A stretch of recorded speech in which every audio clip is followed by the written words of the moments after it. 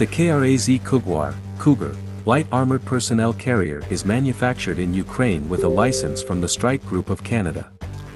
It represents a variant of the Streit Group Cougar light armored personnel carrier. The initial batch of these vehicles was delivered to the Ukrainian armed forces in 2014 to address the ongoing military conflict within Ukraine, where they were employed by the Ukrainian National Guard. As of 2015, there is substantial evidence of the widespread use of this light armored personnel carrier by Ukraine. The foundation of the KRAZ Kuguar is built upon the Toyota Land Cruiser 79 chassis. This vehicle is cost-effective in both maintenance and operation. Originally designed for tasks such as convoy protection, peacekeeping, border patrol, and other situations of lower intensity, its applicability for high-intensity operations is limited. Nevertheless, due to the scarcity of available armored vehicles, the Ukrainian armed forces resorted to employing it.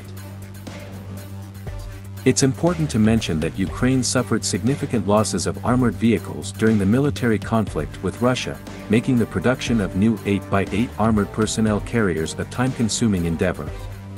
The armor of this vehicle provides defense against standard NATO 7.62 by 51 mm ball ammunition as well as artillery shell fragments.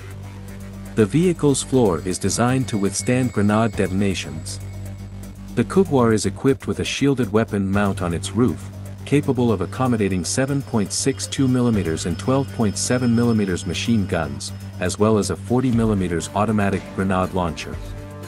The vehicle has space for up to 9 personnel, including the driver.